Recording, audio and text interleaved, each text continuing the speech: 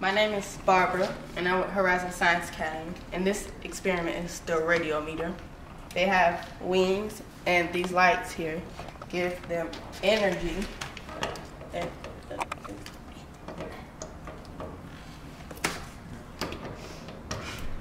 and it makes them move. But the dark lighter, the dark wing, makes them move faster because it absorbs more energy from the lights than a light one does.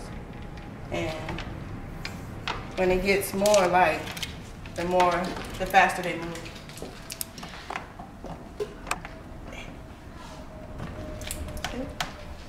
As you can see, it goes faster. The more pressure's on, the more light's on it. That's it. That's it. All right, my name is Barbara Gully, and I'm with Horizon Science Academy, and my experiment is the radiometer.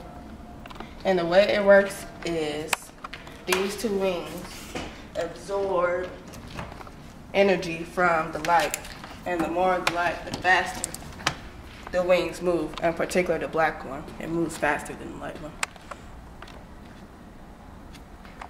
And that's pretty much it. That's how it works.